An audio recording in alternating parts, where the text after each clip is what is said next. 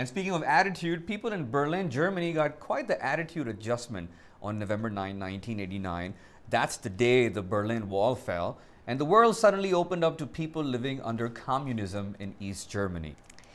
Well, despite its troubled past, some look back on the East Germany of the Cold War with nostalgia, a phenomenon known as ostalgie. But as VOA's Henry Ridgwell tells on assignment's for Rebecca Ward, many older Germans have no fondness for the Berlin Wall and the repression it represented. In 1961, August 13th, 1961 is the day that the wall went up, virtually overnight dividing the city, dividing families, people even crossing the wall using buildings to jump out, go in one entrance and jump out the other side into West Germany. That's what it was like initially. Burkhart Veigel, he's now 76, and he told me that it became his, his lifelong work really to, to try and give people their freedom. Uh, and he thought initially the best way to, to smuggle people through was via tunnels. I asked every escapee if they were scared, and not a single one said they were frightened during the escape. They think this has to work, and I will behave correctly. Veigel was an expert passport forger. And this was a refugee. He modified a Cadillac to hide a person inside the dashboard. Hundreds escaped to the west thanks to his ingenuity. And then he tells the story of the day that he found out that the wall had fallen, and he came in and looked at the television screen and, and said he just burst into tears.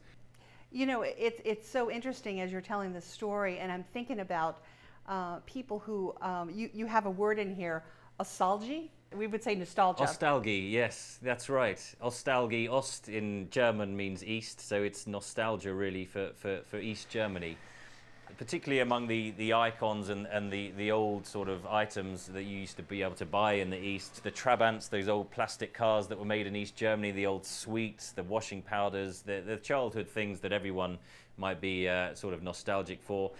Among those who lived in East Germany, there is um, a theory that some of them are, are nostalgic for a, perhaps a more straightforward, more predictable way of life, where you've sort of got a guaranteed job from the state you know what your expenses are, you know what your, your job is going to earn, you know what you're going to do for your holidays.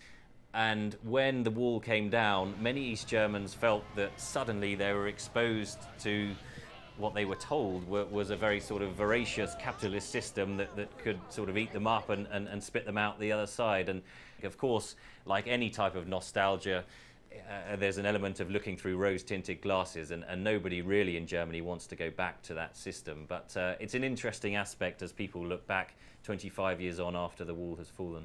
The surviving infrastructure of the old regime provides a strong antidote to ostalgie.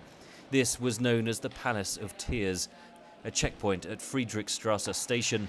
The wall divided families and friends overnight. The Berlin Wall Memorial is a powerful testimony to the conditions in the East that drove so many to try to escape.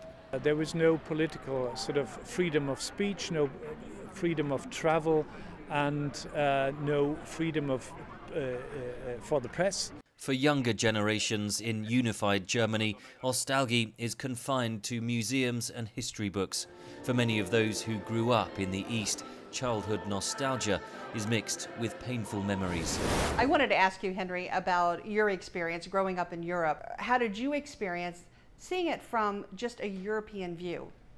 I was only 10 years old when the, the wall came down, um, so just in, in my history lessons at school, uh, and I do remember the history teacher coming in and, and telling us this was uh, the most important day of our lives so far in, in world history. You'll remember this for the rest of your lives.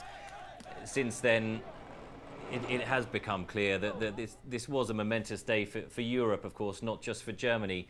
To have a divided Europe, to have that iron curtain, as, uh, as it was famously called, that divided Europe in half, uh, really felt uh, as if there was a, a, potential war on, on your doorstep. And since uh, the wall has come down, it's been discovered that there were Soviet nuclear missile bases just north of Berlin. So really a few hundred kilometers uh, from the capitals of, of, Western Europe, London, Paris, and, and, so on. So the world really was uh, geared up physically to a, an east-west confrontation in those days. And I think really that's what scares a lot of people about the current geopolitics of, of, of the tensions between East and West because they know, we know what can happen. Uh, and so when we talk about currently about uh, President Putin and, and, the tensions between he, he, and Western leaders, there is a history of that, and, and that's why it is really quite so frightening. And again, our thanks to Henry Ridgwell, reporting for VOA from Europe.